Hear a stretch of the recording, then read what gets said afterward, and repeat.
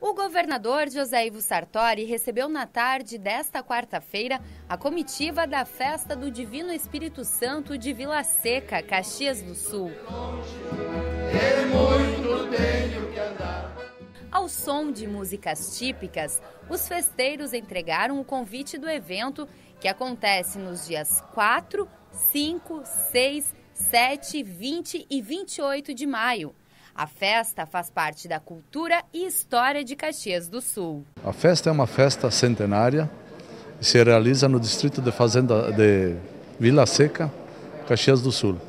Então estão todos convidados para a festa do Divino. À noite terá ah, missas e jantares dançantes. E no domingo a festa tradicional.